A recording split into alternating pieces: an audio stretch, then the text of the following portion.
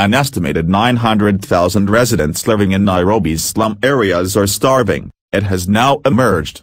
According to a survey by City Hall in partnership with the Kenya Red Cross, Oxfam and World Concerns, 30% of the estimated 3 million residents in slum areas sleep hungry or only have a single meal daily.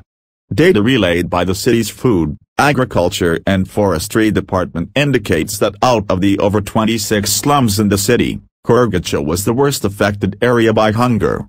It is estimated that 200 families living in Korogocho go hungry every day. The survey dubbed the Early Warning and Action Mechanism Strategy Survey further indicates that 22% of children in informal settlements don't get nutrition and food.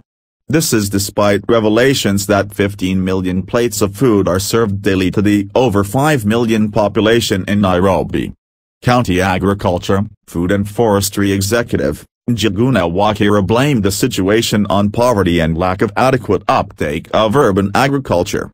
Whereas a section of city residents get enough food, there is the other population that cannot get a single meal a day and that should not be the case, said Wakira.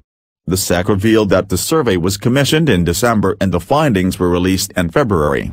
The survey was manually carried out across 30 informal settlements in the city and selected households, added Wakira.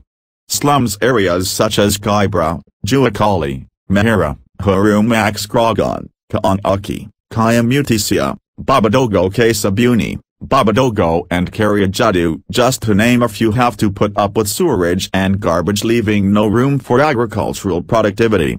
The agriculture boss however says that the county with the aid of the partners will set aside SH 30 million every year to address the issue.